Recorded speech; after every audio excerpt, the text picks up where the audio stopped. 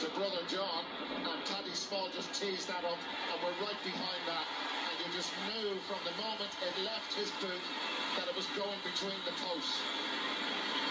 Again, just a very routine play between the two brothers. Uh, John just drives in, tracks the defender, and pops it back, and then unattended.